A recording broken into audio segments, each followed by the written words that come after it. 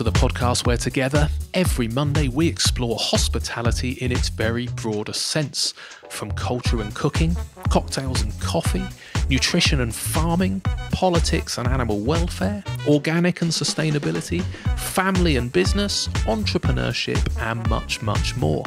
Come and learn with me, Mark Cribb, about where our food and our drink comes from, and the businesses and more importantly, the human beings that thrive on where we decide to spend our time and our money. Sign up to our weekly newsletter at humansofhospitality.co.uk and hit subscribe on your podcast player of choice. Welcome to this week's conversation where I'm exceptionally excited to be chatting to Naomi Duncan, who is the chief executive of the charity Chefs in Schools. And in my humble opinion, this is an awesome conversation that should be heard by as many people as possible. Although, of course, I utterly adore hospitality and the amazing world of food and drink, there's no getting away from the fact that as a species, we humans have a problem we are fat. We have one of the highest obesity rates in the world in the UK, and therefore I often question my role as a restaurateur and whether I am making the situation worse. Part of the reason for this podcast's existence is for me, and hopefully you, to learn to try and find out where is the sweet spot between loving food and drink but not wanting to destroy the planet or make people sick. So I go off on a journey every single week and chat to people about their chosen niche or area of expertise. And I've learned so much. I don't have all the answers, but I like to consider myself pretty well informed and with a genuinely insatiable curiosity to continue that adventure and learning journey. What is pretty obvious is that we need to improve our relationship with food as a species. We need to understand more about why we eat a diet that all too often makes both us and the planet sick. But we also need to celebrate the incredible things that can happen around food and hospitality. The connections made, the time with friends and loved ones, the breaking bread, and all too often the very reason for being is the social interactions that happened around hospitality and being hospitable. So, with so much to gain and so much to learn, surely it makes sense to start this journey as early as possible, as in really from birth. And not too long after birth starts education. Of course, at home, and then maybe nursery, and ultimately a pretty long time at schools. Surely this is the place to improve knowledge on food, on what we should eat, to inspire a lifelong love for whole food, and to understand the difference between real food and processed food. To understand that food is essential for life and that in the modern world nobody should be going hungry to try and fathom how on earth it is possible for the same areas struck by food poverty and lack of access to food to at the same time be suffering from diabetes and obesity due to the shocking quality of the food that may be available. It's just so bloody obvious. How on earth have we allowed ourselves to have an education system that spends so little time on the one thing we put in our bodies every single day that nourishes us, that gives us energy, that fuels our bodies and our minds. We cannot achieve our potential either individually or as a collective unless we fuel ourselves efficiently. I can't really understand how we're getting it so wrong. But as always, I'm so bloody excited about the potential for us to do it better. And luckily, we don't need to start from scratch. Since Jamie Oliver told us about the turkey twizzler, we've at least been on an upward trajectory of knowledge of understanding that the situation is broken and we need to focus on improvement and change. But it is taking time, and that's frustrating. But I like to believe the trajectory is at least positive. And actually, through COVID, the hospitality sector and people like Marcus Rashford have really helped ensure that food poverty and access to food at school has stayed in the limelight. And Naomi Duncan and Chefs in Schools are right in the midst of the beating heart of this debate and trailblazing some of the improvements that can be made. They will soon be working with over 70 schools, predominantly in London, but with grand plans to work with or inspire a transformation across thousands, if not tens of thousands, of schools. Now, in this chat, we dive into understanding what the problem with school food is how have we ended up here? What should be done? What can be done? And what, in fact, is already being done? The impact that Naomi and the Chefs in Schools team are having is exceptional and very exciting. Whether helping get fully trained restaurant style chefs into schools or working with existing teams, they are focused not only on providing better food in the canteens, but working with the curriculum in educating children and inspiring them around what good food can look like. But whatever you do, don't call the food healthy. Since they've learnt the hard way, that can turn the average teenager off. I learned a huge amount, and I hope many of you listening will be inspired to speak to your local schools. If you're a parent, perhaps you can ask better questions of your kid's school. But if you work in the sector, why not reach out to your local school and see if you can help? I've personally found working with my local primary school in inspiring and teaching children about real food and seasonality and presentation and the ethics of food has been hugely entertaining and exceptionally rewarding. Right, before we get on with the show, can I just ask if you enjoy this episode or other episodes, can you please do me two pretty quick favours? Can you firstly head over to humansofhospitality.co.uk and sign up to the weekly newsletter, when every Monday morning I will send you a short email about this week's guest, with some useful links about any websites or social media channels or points of interest that come up whilst we are chatting. That'll save you the hassle of trying to remember whilst you are listening, and I promise I won't share your data and I won't hassle you for anything else. And whilst you're there, if you can make a donation to support this podcast, there are two very useful buttons one for PayPal for some one off support, and one for Patreon for some easy monthly support. If everyone listening just paid a fiver, a couple of cups of coffee a month, I could make this podcast a whole lot more awesome, with more time to chat to more guests and travel to meet in person, some great hosting, recording, and promotional kit. I promise I will invest it wisely. Secondly, could you please pick up your podcast player and subscribe, rate, review, and share this podcast with your network? The more I can demonstrate to potential guests how many people are listening and enjoying these conversations, the easier it is for me to convince them to spare an hour in their diary to have a chat. So, the better reviews, the better guests, and the more you will enjoy these conversations. It's all round win win, plus, you'll make me very happy. Okay, thank you so much. Let's get over and meet Naomi. Naomi Duncan, Chief Executive of the charity Chefs in Schools, thank you so much for joining me on the podcast today. Hugely appreciated. Uh, can you just tell people listening, sort of, how are you and where are you in the world, please, Naomi? Sure, yes. So thank you very much for having me on. Um, and I am very well, thank you. Very busy. Uh, life is all busy, chefs in schools wise. Um, and I'm currently in Little Venice uh, on a canal boat, as you are. Yeah. Amazing. Yeah, well, we just chatted about this before we started. So you live on a boat? I do, which feels ridiculous, but at the same time feels like a kind of lovely oasis of peace in London. So I think that's perfect, isn't it? Because, yeah, London can be crazy, but it's beautiful, isn't it? Once you get down on the canals. I remember I used to live in London and I used to think it was amazing. Just it's a, a world apart that you can walk out the city. And then I remember those beautiful areas of the canals and the kind of trees and the grass. It was, it was lovely. So, yeah, nice part of the world. Indeed. Good. Well, look, thank you so much for joining me. So, um, I, have often in this podcast sort of end up chatting to people who have a particular interest because you know, it's all areas of hospitality. So, whether that's the restaurateurs or the chefs, but all too often producers, and, and quite often get into a sort of ecological environment, nutritious, vegans, and all sorts of conversations. And then, um, you know, kind of haven't really got back to the roots of this and, and, and all of this, all of these sort of challenges and opportunities, I suppose, around food really boils back to kids as to most things, I suppose, because that's the future. So I'm really excited to try and understand, you know, what what's going on with children and food and schools and all that sort of stuff. But before we talk specifically about what chefs in schools do, um, I just want to understand sort of, you know, what's the problem, I suppose, why you exist and what's happening. So can you just explain a little bit to me about, you know, what's going out on out there in schools uh, or, or just children in general with regards to food?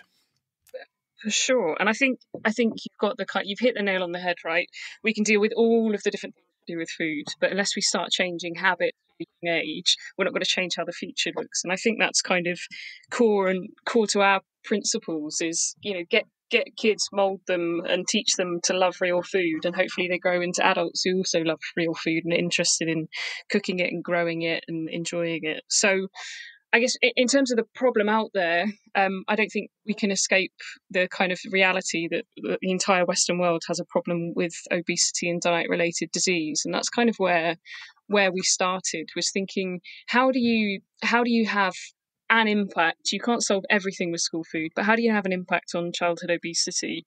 How do you start reducing levels of that? And how do you stop it turning into kind of adult unhealthy relationships with food and so that was kind of the founding principle was if we teach kids about food in schools if we take the concept that in schools kids are learning much more than just you know science and maths they're also learning social interaction they're also learning how to get on with each other they're learning kind of skills uh, all sorts of soft skills outside of um, core education. Surely food's a really big part of that, and surely we have really great opportunities when kids are school in school to give them an education about food.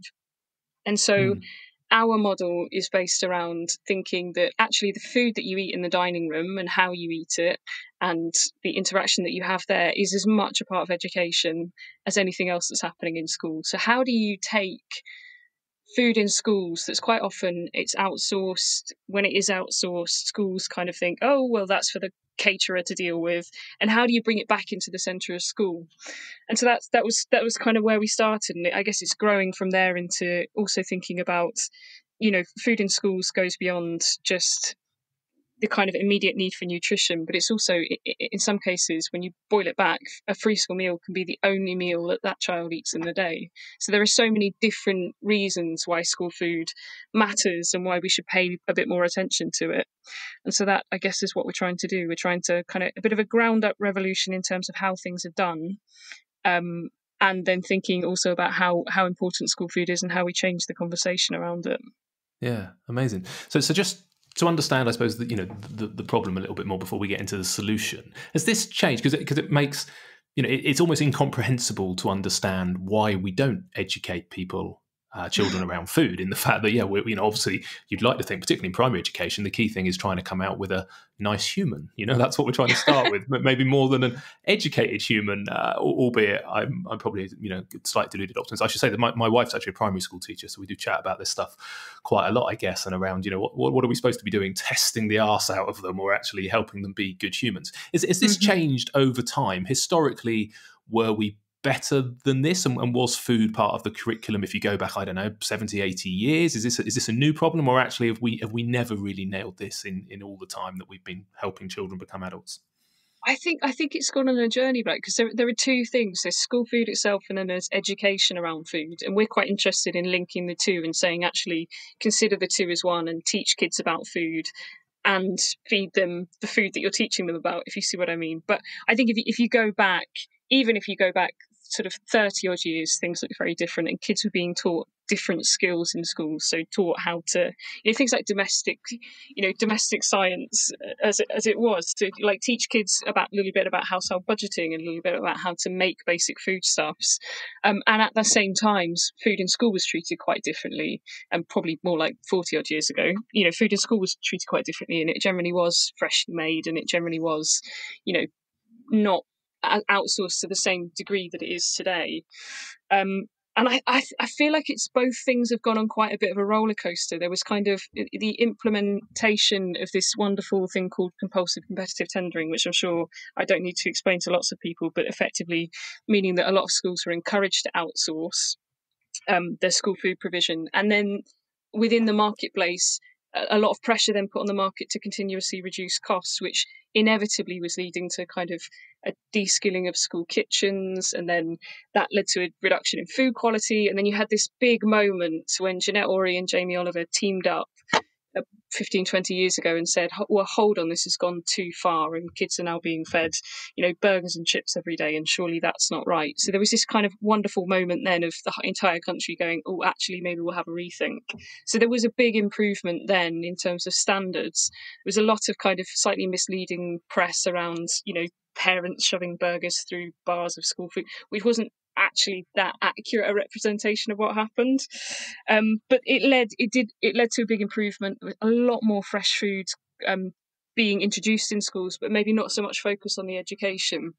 And then about six or so years ago, um, our chair, Henry Dimbleby, co authored the school food plan, which led to, amongst other things, the introduction of things like universal infant free school meals. So now all um, younger children in primary schools get a completely free school meal it led to getting getting rid of this kind of nutritionally based way of creating menus, which was eh, very dull and technical, but basically meant that chefs had to type their menu into a computer system to work out the precise balance of macro and micronutrients and was kind of sucking innovation out of menu development. And it also led to um, school c- cooking in schools being put back on the curriculum as a requirement. So all children up to key stage three, I think. So just when they're entering secondary school, have to be taught a little bit about cooking.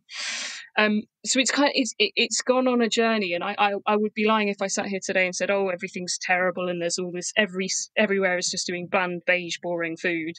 But I guess we think there's still too many schools where actually despite all of the improvements, there is a kind of overemphasis on in the kitchens, kind of packet mixes and beige food being served up on the counter uh, on the counters, and food in, in classrooms either not being taught at all, or when it is taught, being around kind of things like you know, cakes and tray bakes and how to make a basic fruit salad, and not really giving kids the skills when they leave schools to be able to cook properly for themselves. So, yeah, I think I think that's probably where we are. Ha- there have been big improvements, you know, and there's been a lot of trailblazers who've, who've gone before, and we're, we're just kind of now coming in and saying, actually, there are ways of doing things differently still that can make it even better.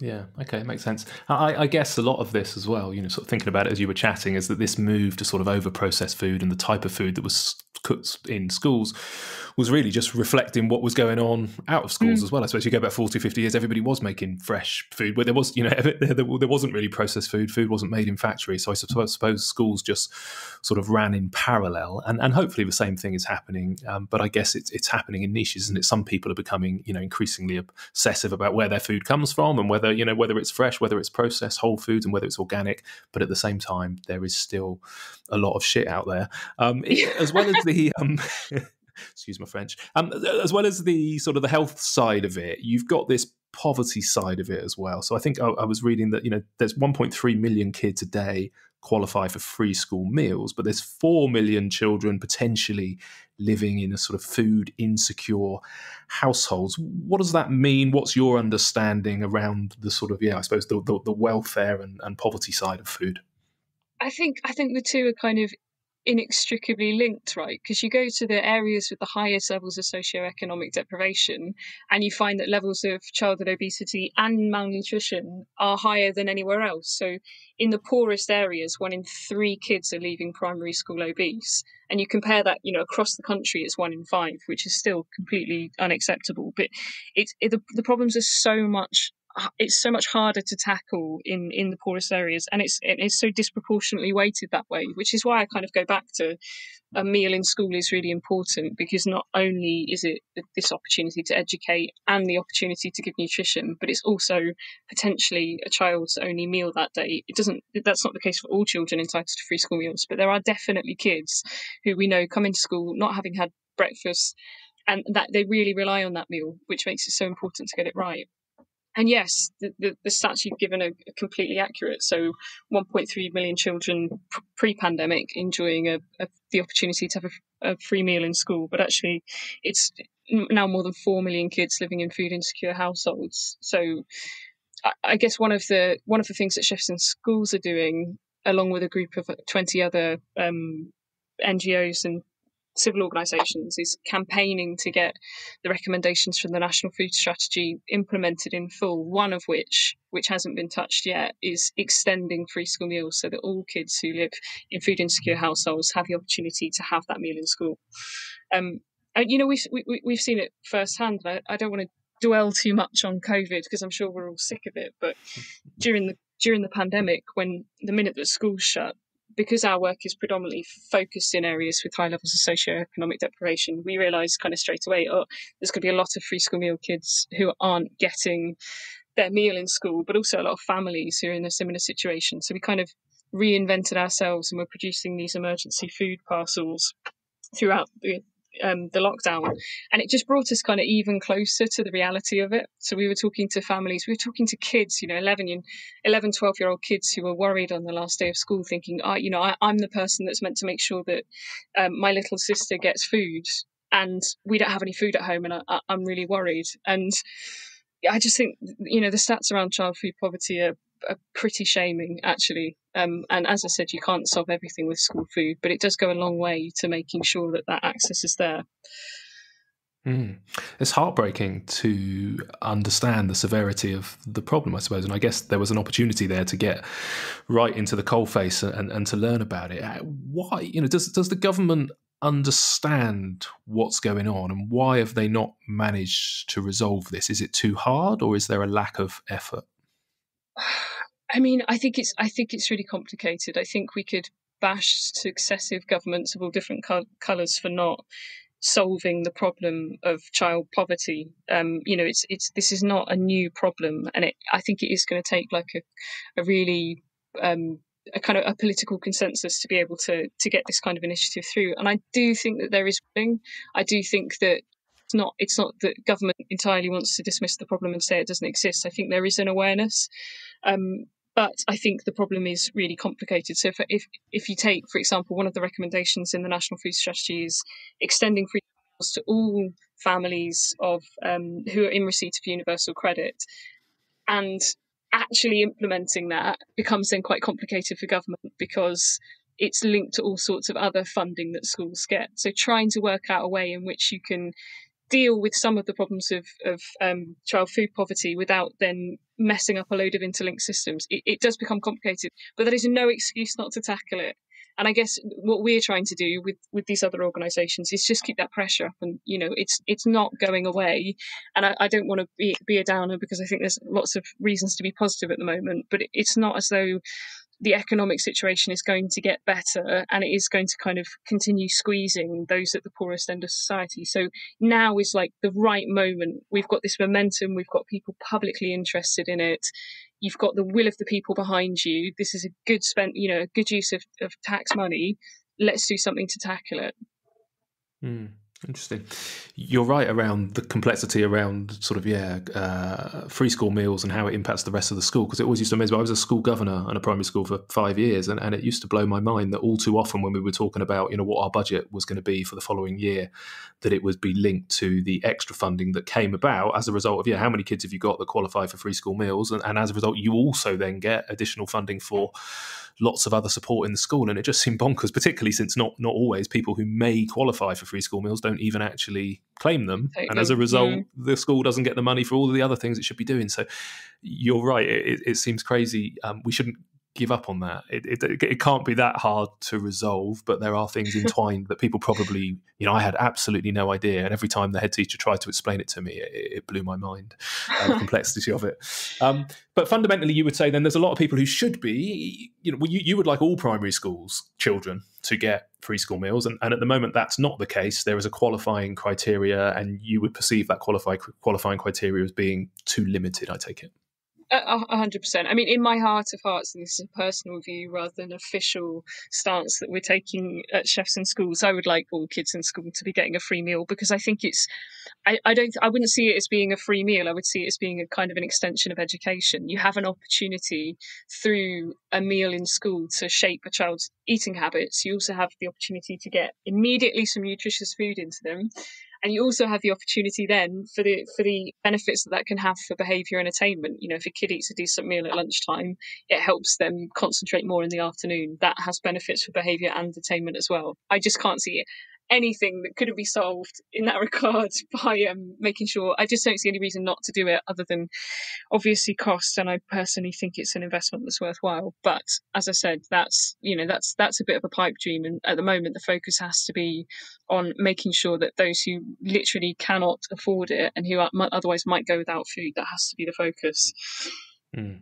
Okay, and then very shortly going to move into the uh, solution or part of the solution with, with what you're doing. But sort of last bit of trying to understand the problem, and, and, it really got me thinking over the last couple of days whilst I was you know doing some reading around this, is that there's a billion pounds a year spent on packed lunches, and that, that those quite often, or I think it was the, the stats was that only one percent of those were considered to be sort of nutritionally acceptable. And if parents actually invested that money into school lunches, then it, it would solve the problem because there'd been enough cash going around to support food in schools. I hadn't really comprehended that. I suppose my perhaps incorrect, and, and I'm, I'm, going to be motivated to go to my kids' schools and get a little bit more involved. But I, I guess the perception of a lot of parents is that they're doing their kids a favour by not allowing their kids to go and eat what they may uh-huh. perceive as rubbish at school. They're making them a packed lunch, and actually, we're in this sort of self fulfilling cycle. So it, I guess that's changed as well. The number of kids actually paying for school yep. meals that's that's gone down over the years definitely and actually you, you're completely right about the kind of self-perpetuating cycle of doom because the less parents that pay the less money there is in the system the more contractors and outsourced and schools have to drive down the cost and in doing so you reduce quality unless people want to pay. It's just this horrendously vicious cycle. So i'm I kind of always up for initiatives that put more money into the system. And then having you know really really good guidelines that make sure that that food is you know nutritionally balanced and then having really good operators out there who are you know producing great food. But you do need to have money floating around the system to make that happen. And at the moment as, as you say there's and i think the kind of one of the outputs of the pandemic has been um, a reduction in, in, people eating meals in school, and that is only going to kind of make the problem worse. So yeah, it's yeah. It's tricky. Yeah, really. It's tricky, but you have to get parents' confidence, and to get parents' confidence. So we, we as chefs in schools, our um, our model when we're talking to schools is we're encouraging them to make school meals compulsory where they can, and say actually once you've got the parents' confidence, once you're happy, the food's good, it's nutritious, the kids enjoy it, go down the route of just saying, well, we just we're not a packed lunch school, which then makes it financially sustainable for the school to have a decent chef in the kitchen producing decent food. Yeah, it, it's a bit bold. It's sort of blindingly obvious. No, but but you're absolutely right, and and I think most parents would want that. You know, so I've got an 11 and 13 year old. You know, both both at secondary school. There's clearly issues going on around because the school have been sending out some surveys recently around canteen usage. But but my natural perception would probably have been well, it's probably more about what I know my kids would choose more than maybe what's available. I would presume that there has to be some sort of you know nutritious uh, option at the school. But my daughter, even as a restaurateur, it would drive me absolutely insane that my daughter, given the choice, is is going to go for the chips and chicken nugget over the I don't know you know veggie lasagna or whatever it might be. Um, is there a, is there a kind of a, a, a, sort of a kite mark or an accreditation where that, that already exists where teachers where parents could quite easily go, oh, look, my school has got that. That means I know that you know they care about food. I know that they're following you know certain guidelines, and as a result, I'm going to support it. Or in essence, do all schools do that anyway because there is national guidance? Or Ooh, that's a big question. yeah, it's a big sorry. question. I, I, want to say one thing, and I'm not sure it's going to be entirely true. So there are, so there is an accreditation out there that's in, uh, I've, off the top of my head, I think it's over 10,000 schools. It's in a considerable amount of them. Soil Association have a program called Food for Life, which was actually established by those kind of school food pioneers, um, Jeanette Orrey, back um, about again about 15 years ago. And that accreditation, you could with confidence then say that you knew that um, that school food standards were being followed, that food was being procured in a way that might make you happy, um, and that there was sort of some general quality baselines as well. I think it's really hard with any accreditation though, um, and I think, I think. I think there are schools out there who don't have that kind of thing, but might still have really great food. So I think I, mean, a lot of schools offer the opportunity for parents to come in and have a look at the food on offer, and I always think that's a really smart thing to do because it kind of takes away the mystery of it.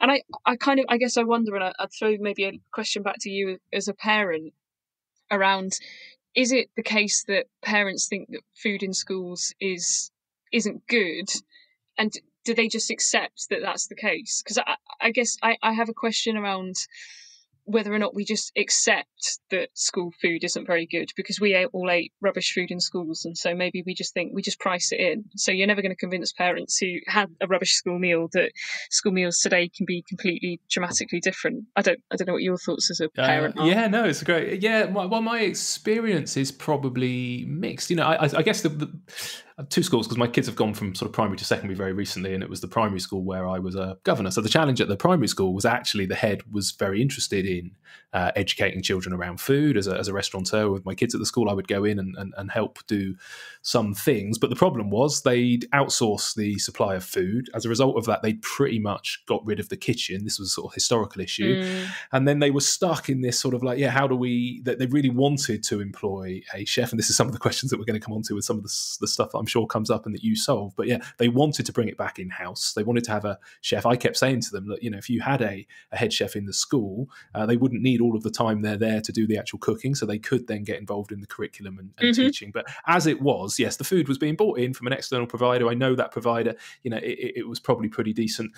I'm probably more concerned at the secondary school because of, like I say, the freedom of choice of the kids and, the, mm. and them deciding what they buy. And I, and I would naturally presume that, like I say, there might be some. I don't know how how good any of it would be. I suppose the trouble is for me is that there's a lack of um, appreciation and understanding of food in general about you know what constitutes good food even even as a restaurateur you know i know that probably a significant proportion of the customers coming in to my restaurants don't actually care where I'm sourcing the food. And although it's incredibly important to me, a lot of them are motivated by does it taste nice? Does uh-huh. it fill me up? And and actually, the, you know, the work that we do into securing ethical, seasonal, all that kind of stuff. For the vast majority of people, I, I, I worryingly don't think that they really think about why they're eating strawberries in February or why they're eating asparagus in October and I think it's important, um, and um, and they don't. But then you get into the poverty side of it, and you go, it just needs to be nutritious. You know, you you you're getting yeah too far into it. So I could probably answer this question for an hour, Naomi. but I do I do think there's a mark. Yeah, clearly, and, and I'm going to do it off the back of you know reading about what you do over the last couple of days. I will definitely be getting up in, in touch with my school. I would imagine in a normal year, it probably would have come up already, but because of COVID, you know, we haven't, the school hasn't been open to external visitors. None of the normal inductions that take place have taken place. And certainly if I had been invited in as a, as a somebody in the industry, I absolutely would have been poking around in the kitchen and asking about food as I did at their primary school. But I haven't had that opportunity at secondary mm-hmm. school. And my presumption would be, even if there is good food available, that my kids probably ideally wouldn't choose that. And as a result, we make a packed lunch because then we're in control. And uh-huh. I would uh-huh. agree on some of the nutritional elements of that, but at least at least the calorific element of it, we're in control. Mm. If uh, if not the nutritional element, so I think it's fascinating, and and I'm motivated. You know, I've worked with a few local schools, and I, and I think off the back of this, I'll be even more motivated. And, and I guess we'll come into this, but sort of you guys working out of London and regionalising what happens out of the country and trailblazing and educating, I suppose, is part of it, which means I should probably ask you another question, Naomi, which is let's get into then, you know, the sort of we understand the challenge, we understand the problem. I think it's it's fascinating. Um, hard, but actually it looks like there's some quick wins in there. How did Chefs in School come about, and what, and what sort of what's the primary things that you guys do as a charity? So about well, in fact, probably about six, seven years ago, um, there was a there was a school in Hackney um, where our chair Henry sent his kids, um, and the school cook left, and he was chatting with the exec head teacher Louise, and they were saying, you know, is this an opportunity to do things a little bit differently, similar to the conversation I think that you had with the head teacher of your kids' primary school. And so Henry put a tweet out on on Twitter obviously. And it ended up in the hands of a lady called Nicole Pisani, who was the head chef of Nopi, um, which is a, a, restaurant in, in Mayfair, an Ottolenghi restaurant in Mayfair. And Nicole was kind of going through a period in her life where she was thinking, you know, she'd been head chef for a few years and she was thinking, you know, is this what I want to do with the rest of my life? Is there, you know, something I could do that might add back a bit of value? And so she thought, well, you know, why not school food? I can work Monday to Friday. I'm going to get the holidays off. I'm not going to be constantly working when everybody else is out and having fun.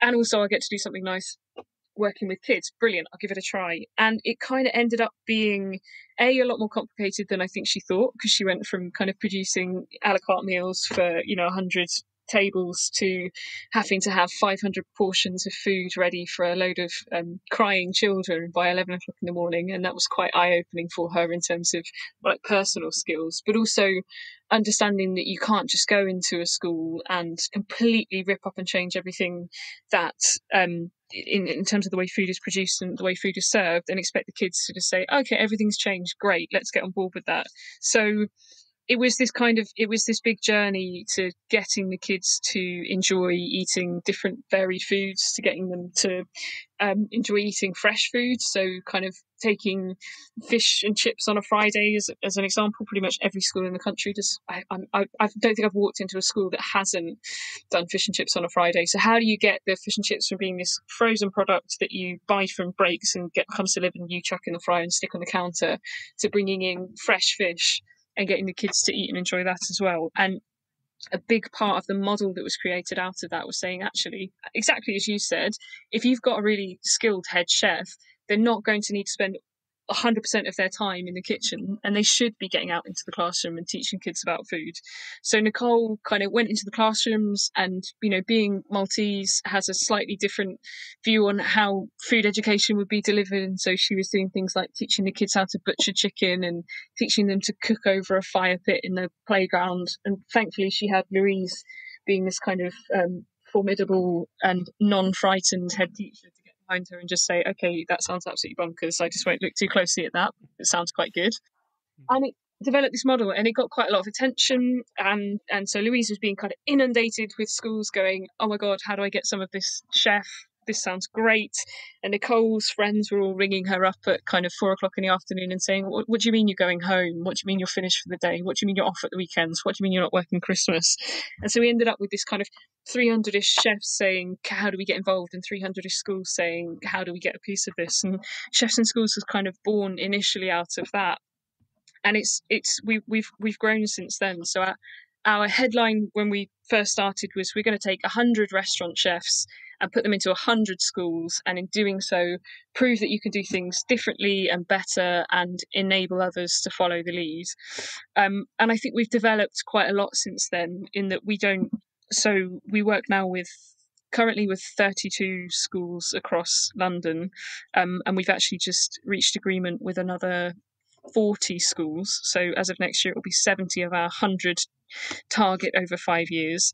We don't just kind of pluck fancy restaurant chefs out of their fancy restaurants and, and put them into schools.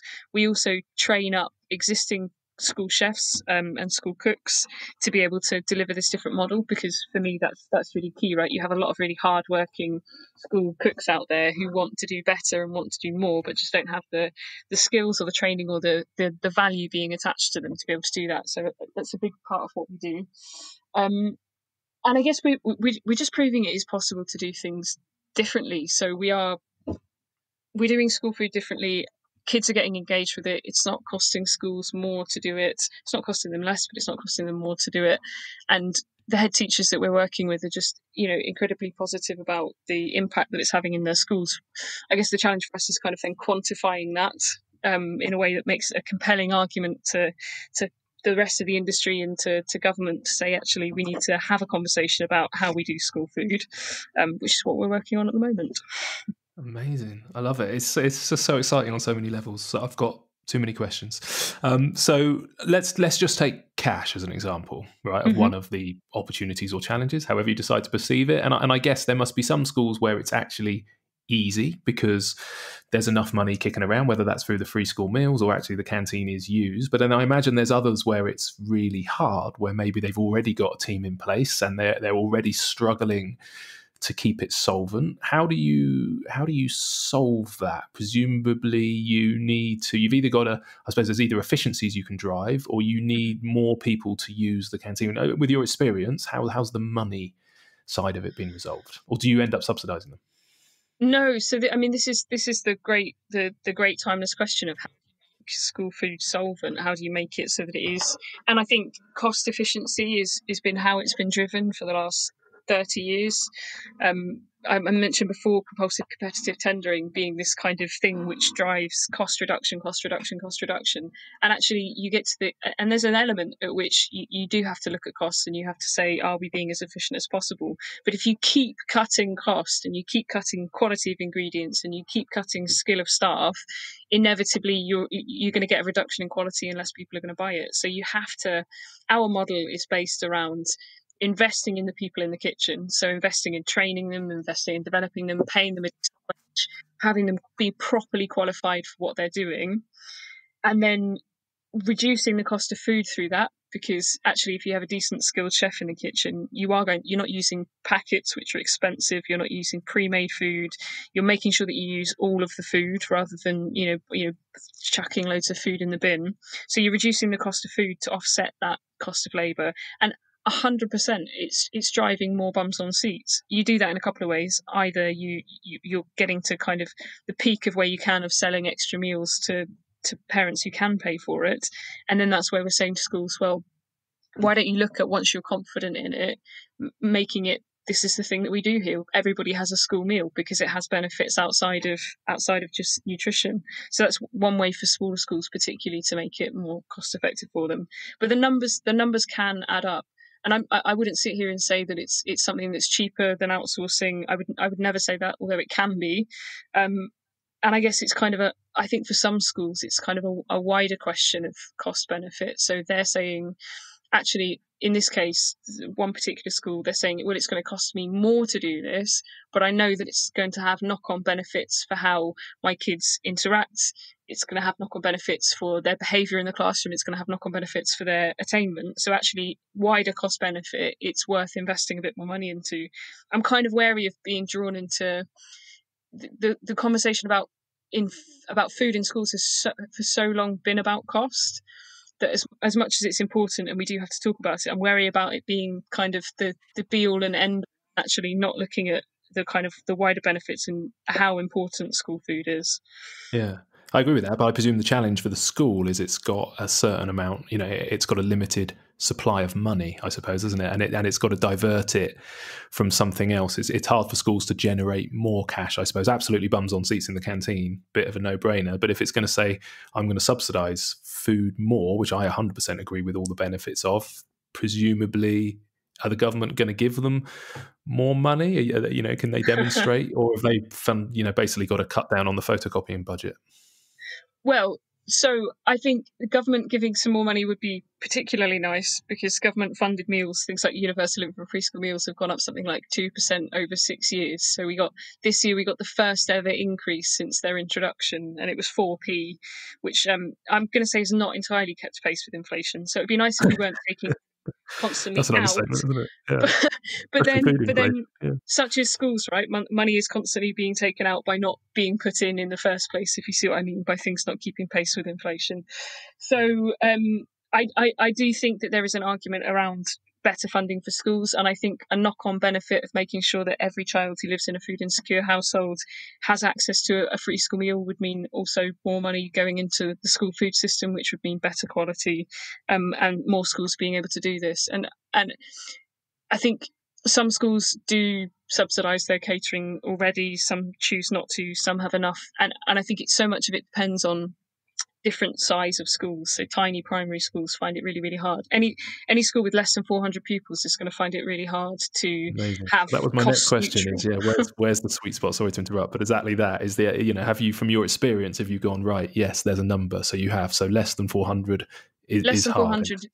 400 it's tricky. I'm not going to say it's impossible. I think you have to get creative. So there's two schools that we work with in Hackney, completely, they're not in a federation or anything like that, two completely separate primary schools, but the head teachers knew each other and they were both really keen to do the chefs in schools model. And we were like, great, it's going to cost you considerably more.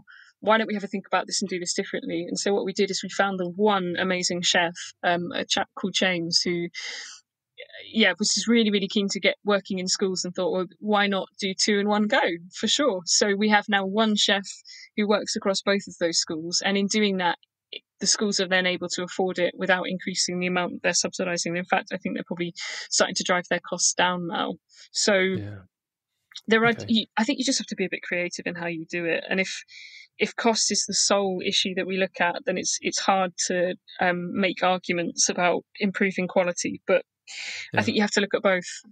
Yeah, I think if it can wash its face, I mean, you know, just talking on a, on a very personal level with when we looked at it at my kids' primary school, uh, I was actually quite surprised. Even it, it, probably is around 400 kids, and it was tight, but it did look like with the amount of money they were getting in uh, for free school meals, you know, alone, that it was mm-hmm. just about doable. Actually, the challenge more was how they were going to afford to fit out a kitchen to be able to do mm. it, because uh, you know they could they could they could yeah, maintain the ongoing costs, and, and they weren't you know, obviously as a restaurateur, you go out and you you finance the kitchen over a period of time, but they they don't seem to have the same flexibility to uh, to go to the private sector. Have you have you had to help with that sort of side of stuff? So we don't we don't directly know, and actually that's kind of that's that tends to be how schools end up in quite long relationships with outsourced providers because outsourced providers can come in and fund a complete renovation of a kitchen or a new dining room or whatever it is, and then it's basically offered as like an, an effectively an interest free loan that's then just depreciated over the life of the contract. So that that's generally how schools pay for kind of improvements to dining and facilities. There was also a, a really wonderful initiative that I'd like to see repeated that the government took the money raised by the sugar by the sugar tax by the soft drinks industry levy and put 100 million pounds of that towards improvements it's called the Healthy Pupils Capitals Fund, and it allowed schools to kind of bid into it and do things, um, capital projects that were um, going to improve kids' health. So I know some schools did tap into that to get improvement. So my other my other question um, was going to be around this demand side because clearly the, the, simplest model would simply be to get enough people to be buying the food. And it was quite interesting. Funny enough, you mentioned fish and chips. My daughter I was chatting to her this morning as part of my research to chat to you, asking her a few questions. And one of the things she said is, "Oh, it's fish and chips today in the in, in the canteen. It's really good." I said, "Oh, great!" And, and, she was running around a bit late, hadn't made a packed lunch. And I said, "Well, why don't you just buy your lunch at school?" And she said, "Because her friends." Uh, don't want won't sit with her in the canteen because they've got oh. pat lunches and they don't want to sit in the canteen and therefore she wanted to make a pat lunch rather than buy it even though she would love fish and chips uh, so that she could sit with her mates so I, I liked there was something that I read in in, in some of your uh, information that said this idea around the kids actually being customers and this sort of desire to mm-hmm. delight them and actually to welcome them. I thought well, that's great. And actually, if you put some of the restaurant design elements, because school canteens are all too often pretty manky looking places. I'm sure that's unfair to a lot of them, but uh, yeah, there was certainly no, my I don't think so. And actually, yeah. So if you focus on, you know, one I suppose is letting the kids that aren't necessarily eating the school lunches eat their packed lunches in the same place because it, it sorts the social element out. I guess it's also how the canteen looks and feels. It, it, what's your experience of that? And is that the sort of thing you've you've had to help on as well? Is just making the space desirable as well as the food? Yeah, definitely. And I think primary schools and secondary schools are so different. And there's this kind of, it, it's understanding in, in primary schools, you have to kind of make a compelling argument to parents about why they should save themselves the time and effort of making a packed lunch and send their kids in for a hot, hot meal. And that's mostly about giving parents confidence. In secondary schools, you have to win the hearts and minds of teenagers, which is just like this.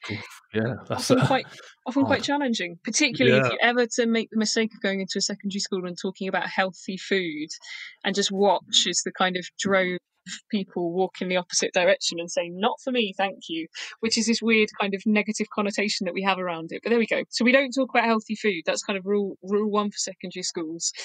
Um, and, and rule two is ex- exactly as you say, it's kind of what can you do about the environment? And if you can't change the environment too much, what can you do within the environment to make it more enticing? And, and how you engage with kids. So doing things like doing kind of pop ups, so getting a couple of barbecues out in the playground and having kind of a pop up barbecue. In a school in Hounslow that we were working with, we arranged a street food market. So they had a week where they had different street food providers coming in, um, which was incredible, and getting all the kids kind of out there and excited and talking about food. And once once they'd done that, once they were excited and talking about food, they were a lot more interested in kind of oh well actually we've got a new chef in the in the canteen and oh let's go and kind of like let's go and see that. Maybe it'll be the same as this amazing street food that we had. So i think i think you have to create you have to create demand. So in secondary schools what we recommend they do now is when when they if they've got a new chef starting or if their chef's been through a training program and they're ready to launch a completely new food offer don't put it on the counter put it outside, put it somewhere else, and create it. it is this kind of thing that has a bit of a buzz around it. Like, oh, there's this new thing. There's only 200 portions of it. We have to be first in the queue, otherwise we won't get to taste it. And then once they're excited about it, and once they're climbing all over each other, creating kind of mini riots that head teachers love, then you start introducing that into the main counter. And you know, if if you, if schools can invest in dining rooms and areas to make them more enticing, that's brilliant. It's not always it's not always achievable, but I think you can do a lot without doing that.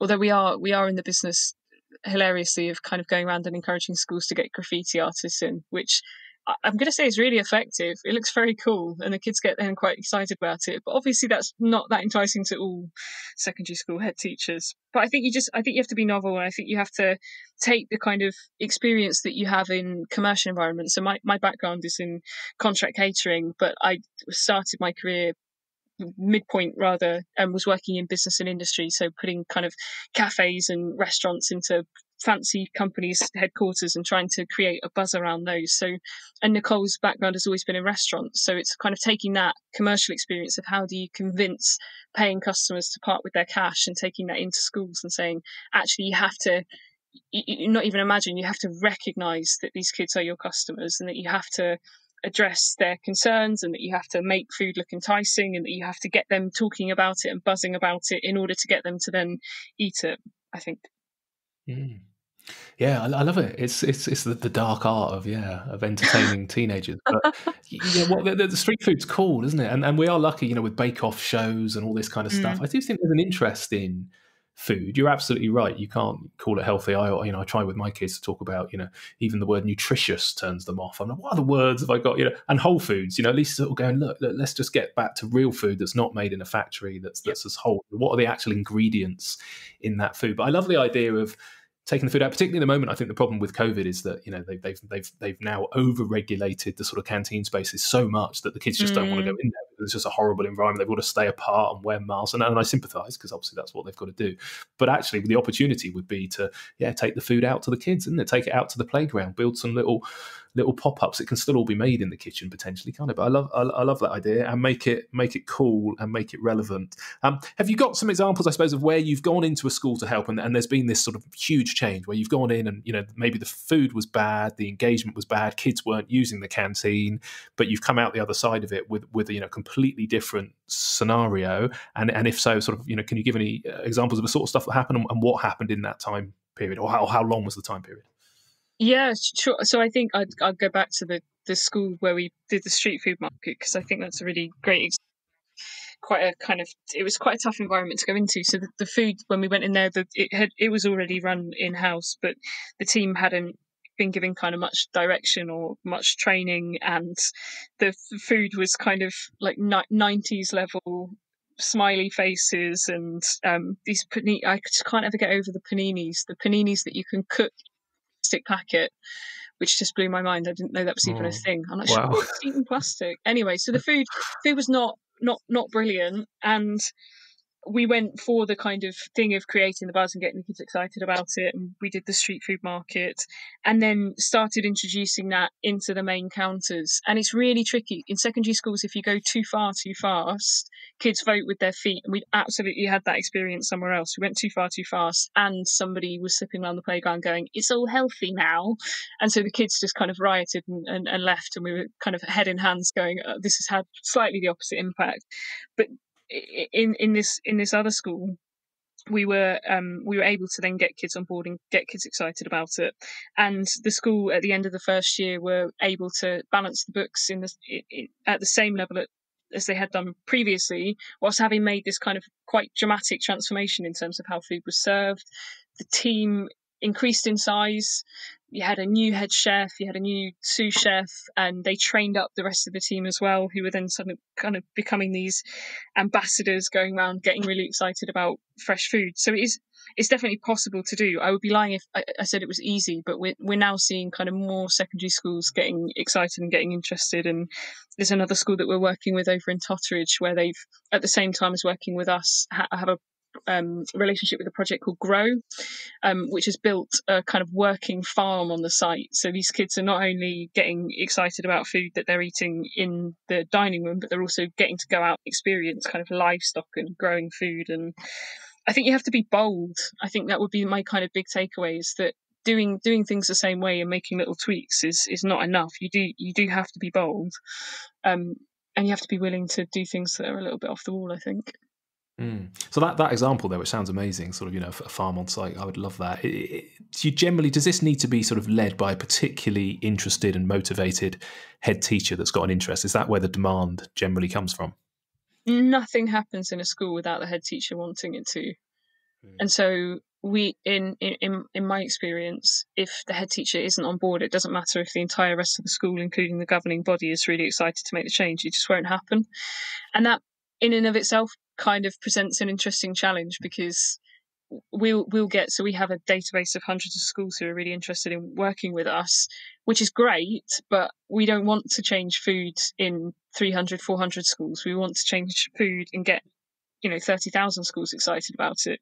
So i think that's where it kind of goes to a bit of a game of 3d 3d chess of how do you start changing people's perception around school food how do you get head teachers to perceive school food as being important, to recognise that it has benefits beyond?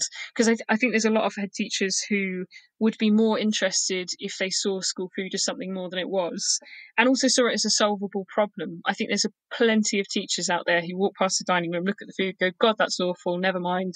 It's I've got so many other priorities to deal with. It's too much. It, I've tried. I've had 15 different catering contractors over the last 15 years. It can't be done. So we just accept it. And actually, us and other organizations and, and, you know, good providers being able to get out there and say it is possible to do it better. Here's why it matters. Here's the funding from government. Thank you very much to make sure it happens. That's the 3D chess. That's how that's how we're going to get beyond the kind of three or four hundred schools. Yeah. And the, the slightly depressing, I, I, I, mean, I love your optimism, and even when you say things that are generally horrific, you still say them with a smile in your voice, which is brilliant. So well, well done. I can see, I see why you're, why you do this. Um, but I and, and I and I share that. But all too often, you know, I worry about the significant, as I alluded to before, really, I suppose the significant proportion of people who just aren't interested in in mm. food and nutrition and where it comes from, let alone yeah, then trying to convince the head. I don't know. It just must become an ever to sort of diminishing number of people that are interested. So a real challenge. But it, I, I, guess the key thing you can do is just is just lead by example, demonstrate, tell stories, case studies, show what's happened in schools. Um, I, I also guess that a lot of heads would be and you spoke about this then i guess when you get it wrong a lot of heads would be terrified of this sort of you know this this fine knife edge i guess they're on between um, as much as anything you know needing to feed the kids it being solvent in some way and mm-hmm. and screwing that up and seeing it sort of you know go down the pan you've now presumably got a wealth of experience and is, is that one of the key things that people would come to you for is to say, look, we've got all the motivation, we've got the desire, we just don't have the experience, we don't want to screw it up. Presumably, you can sort of hold schools' hands through this and go, look, we can't guarantee you that we'll nail it, but we can at least demonstrate to you, you know, the experience we've had. It, it, exactly that, yeah. And I think I think key for us is also making sure that it's something that's sustainable because too too often you kind of you for example, if you if you outsource and you get someone new comes in, loads of enthusiasm, really brilliant food for a few weeks, and then things slip back, and at the end of the three year contract cycle, you're going out to someone else with the same problems that you came into it with. So key for us is like how do you change it and how do you make it sustainable? So yeah, we get we the head teachers that come to us, and we we don't go out and kind of advertise. It is a case of people coming to us are people who are like I've just endlessly frustrated with how crap food is been for however long.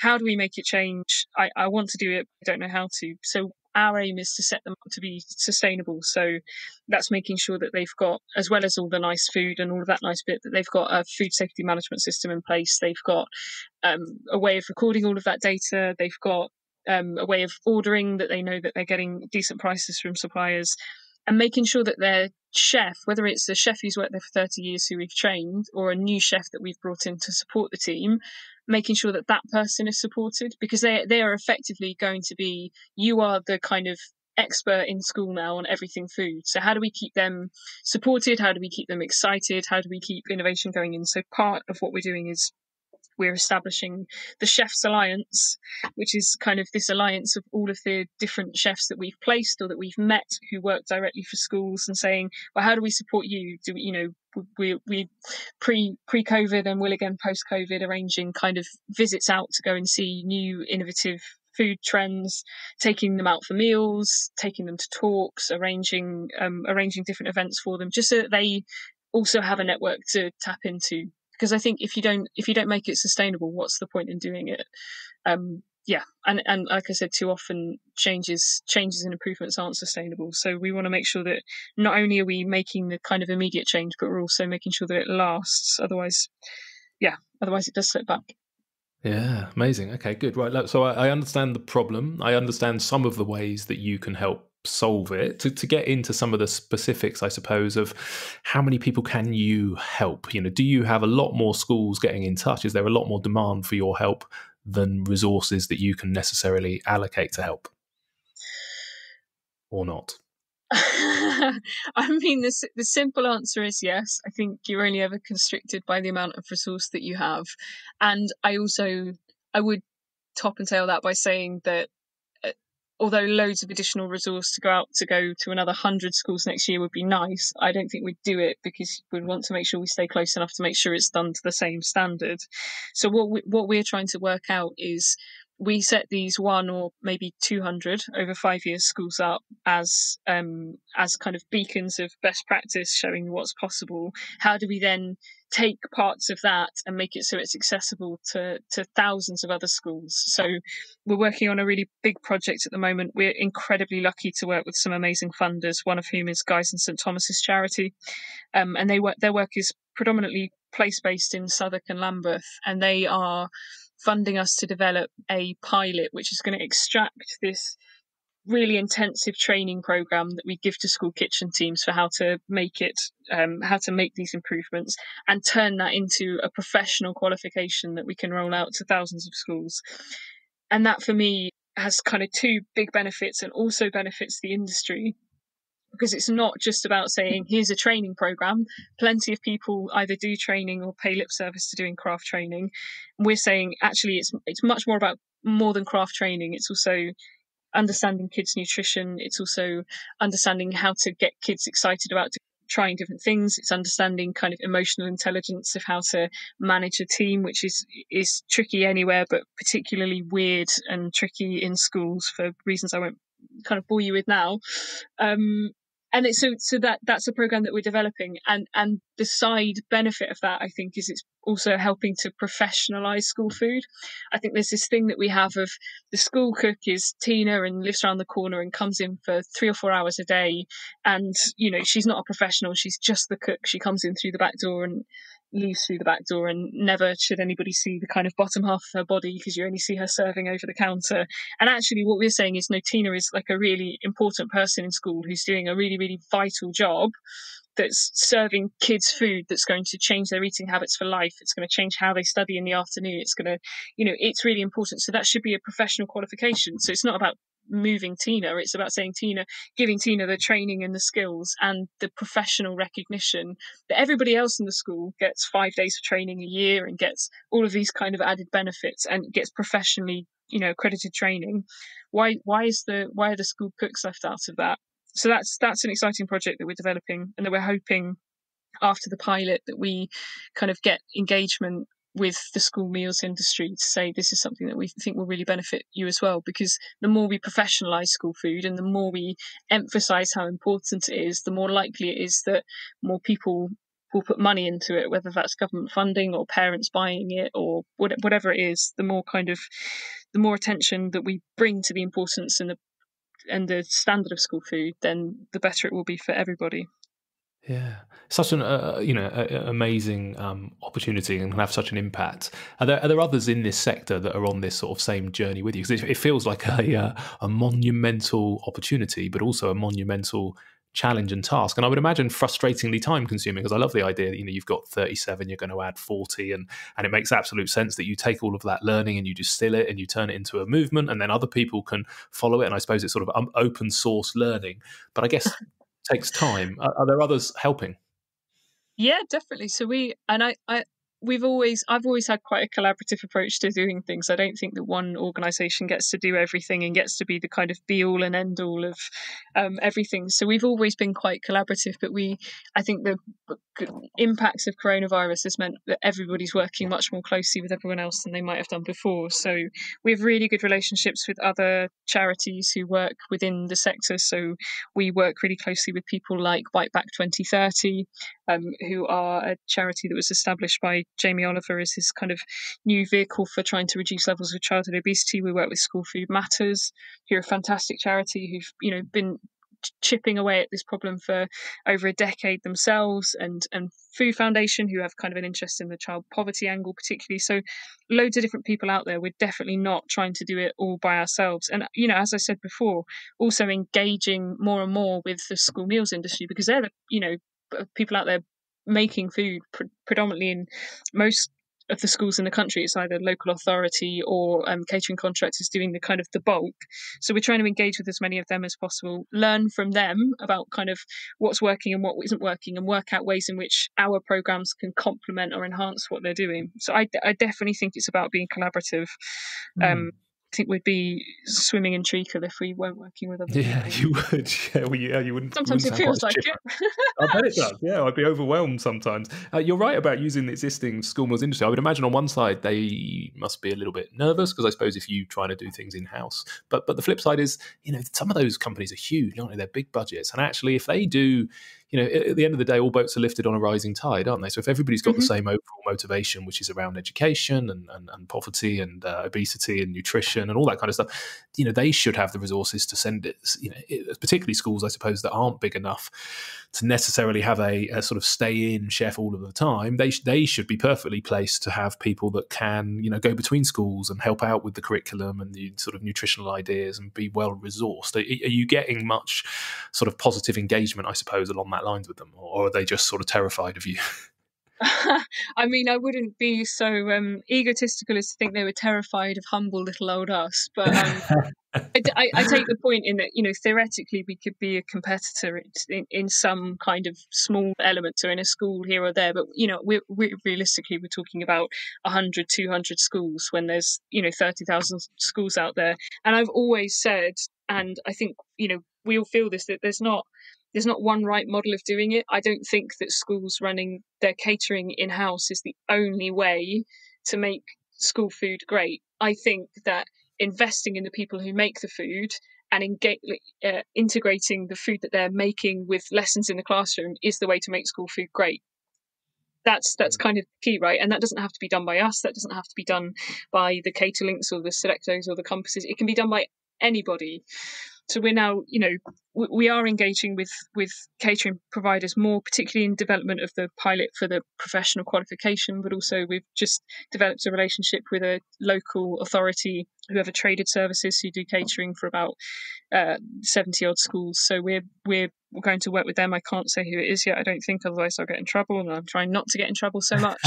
um, but we'll be announcing that in the new year, and that's that's really exciting because that's an opportunity to help them integrate our kind of learnings about how you do food differently, how you get kids engaged with it within, you know, a, a already really well established catering provider. So no, I mean it's it's exciting, and we're definitely definitely um, we're getting really positive noises from the people that we're speaking to, and I do I do think people recognise that there is you know there are financial benefit you know these are companies that yes are interested in reducing obesity and doing the right thing but they are also commercial companies whose foremost priority is to to make money. And at the end of the day there are financial benefits to improving school food and getting more people buying it. So it's it's a win-win everyone let's all get involved with it yeah, no, it makes makes perfect sense, and and I, I, do think there is this sort of sense of collaboration has come out the back of COVID much better than it did before. Are you still purely uh, London centric, and the, the new force you're adding also London? Uh, so I'm proud to announce we now have one school outside of London that's in Surrey. Ooh. But Not far, we're making, maybe, we're, we're, we're, making strides. No, so we, we we are really keen to get outside of London. Um, I don't think that what we're doing is London centric. I think probably the menus that the schools that we work with are producing are probably London centric, but I don't think the model itself is. So I don't think it's going to be difficult for us to kind of move those learnings somewhere else. I think we might have to, you know, think long and hard about different kind of menus for different areas and how we help people work out what those are. But it is our goal to get outside of London. It was on the books for this year. We had some little hiccups and changes in plans for reasons I'm sure everyone understands. That means that it wasn't able for us to focus kind of wholeheartedly on that. But the plan is 2021 what to on earth have you been doing with yourself, Naomi? I, do you know what? I don't know. Things happened. I won't go on about it, but uh, we, did things yeah. differently for about six months of our year. Uh, but yeah, no. Next year, next year the plan is to get out. We're in talks with a, um, a an academy trust um, in the northeast. I would really, really love for us to go northeast, go southwest, find the kind of pockets. Our so we focus our work predominantly in areas with the highest levels of socio-economic deprivation, precisely because of all the things I've said before about um, food poverty, about malnutrition, and about obesity being, you know, obviously so much focused in those areas. So, yeah, we're excited to explore what getting out of London means. Yeah, it is exciting. Yeah, well, I, will be a, uh, a, local ambassador, and we do actually have one of the most deprived areas in the UK. Not all of Bournemouth; much of it is far too flash. But it, it, it, I'm not even embarrassing. It's just the reality. But there's um, there's there's pockets of deprivation locally where, and some real challenge schools where mm. I'm sure you would be um, very welcomed. It, it's part of the opportunity to solve that. Then is around funding. So I've got to draw to a close. I could chat to you all day, but um, how are you? How are you funded? I, I suppose there's never enough cash, but have you got a stable supply of investment and are there any key players that, that help in that? In fact, one of the motivations to get in touch, although I've been aware of your work for a long time and have been meaning to get in touch, but when I saw that Will Beckett from uh, the lovely Hawksmoor had donated ten thousand pounds a couple of weeks ago because of some of the amazing stuff that you've been doing um, during COVID, um, that motivated me to get in touch. So yeah, where and how are you funded, and do you need more support with that? Uh, yeah, if I can just really quickly just touch on the point about Hawksmoor and just give you a one minute ode to my love to the restaurant industry, my love of the restaurant industry, and what an incredible industry. The first people that stepped forward when you know we were working out how do we give an emergency response was the restaurant industry, which were also the industry facing just this most enormous kind of existential crisis of, of their lifetimes, and they were the first people going, okay, can we cook? Can we give money? Can we give you leftover food? It's just an amazing industry, and, and Will and his team at Hawksmoor gave us so much support over the last six months. They, they really are fantastic, but also people like Wahaca. Just I, I could go on and on. Just a moment to just show my appreciation. Um, well, yeah, and, and, if, and if before, before you go on, if I can add to that, I mean, it's been such a humbling to witness it, and and so proud of the sector to see it step up. And and you're right, you know, absolutely on its knees and continues to be so. But it demonstrates that at our core, you know, is hospitality. It, it's yeah. not money. It is a reflex to look after people. And, you know, for thousands of years, whether it's been inns that, you know, people have needed to stay in when they're in remote places, you know, hotels as a service, I just think it, it's a beautiful sector and it comes out of this with its head held high albeit there's a lot of people that aren't going to come through it, which is which is terribly distressing. So yes, I, I share your um, your gushing enthusiasm, I suppose, for how it's handled itself. So I, I, hope that many of my peers come out the other side of this. Oh, so do I. So do I. Oh, sorry, Carol. Um, yeah, no. What was so the question was around funding? Funding, yeah, yes, yes, yeah, access to cash. So we are in a really good position going into this year, but facing obviously the same uncertainties as everybody else. So having kind of really strong ongoing relationships with funders is is is really important because in the world of charities, you kind of you can have know that you've got income for the year, but the next year I, I have no idea and I have no certainty around that. So we have we have different relationships. We we work with certain food foodie people who um, whose values align with us. So people like Hawksmoor, um, a wonderful global food trends agency, the Food People, we've just started working with, um, and they provide us support, but also kind of platforms to go and talk to people about what we're doing, which is brilliant. And um, we also get funding from um, trusts and foundations. So we have brilliant and, and livery, the livery companies in London. So we work with people like um, Esme Fairbairn, uh, Fishmongers, Livery, uh, Garfield Weston Foundation have funded us. The Mark Leonard Trust, which um, is a fantastic trust, has given us a long kind of a long term uh, amount of support. Um, so loads of people I haven't mentioned who I definitely should, but I would be here all day if I tried to list everybody. But we get funding from a mix of places. We also generate income. So we opened a school of food two weeks before the entire country went into national lockdown. Um, but it's a wonderful cookery school in, in, in Hackney, which is not only helping to kind of offer opportunities for a local community to get involved in growing and cooking, but it's also a base for us to be able to share the wonderful chefs that we've got and share those experiences with other people. So we're hoping to generate some income through that and through our work with schools. Um, and then in the long term, you know, with this qualification. I'm hoping that that will also be, you know, a stream of income for us. I, I, think sustainability for anybody right now is kind of having a mix of different ways in which you you, you have income as a charity. A lot of it is donated, um, and we have some fantastic individual donors who support us and particularly around the child food poverty stuff we're finding that people are really really keen to support specifically the campaigning work which is great because it's actually quite tricky to raise money for that specifically. So having the support of individual givers is, is really helpful. Yeah. Okay. Amazing. Is there anything um, quick wins? I guess because you, you, know clearly you're busy. If you're adding another another forty people next year, it's brilliant. So if, if there's a, either a school listening who's feeling you know particularly inspired, or maybe a parent, or just you know somebody in their local community feeling inspired by what we've chatted to, are there, are there any quick wins? Are there any things they can do that aren't just uh, you know create a partnership with you i suppose? Is there is there thing questions they can ask the school i suppose? Or, or just you know start sending kids in with money to use the canteen? Have you have you got any advice you would give people?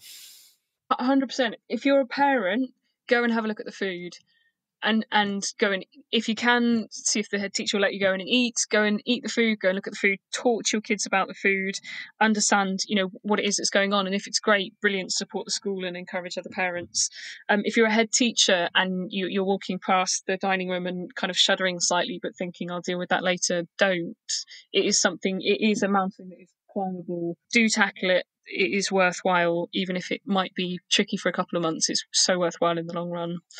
Um, and yeah, if you, I guess if you're if you're a child listening to this, I don't imagine there are, but if I don't imagine there are so many, but if you are, even, getting my kids to listen to struggle, Naomi, but you never know.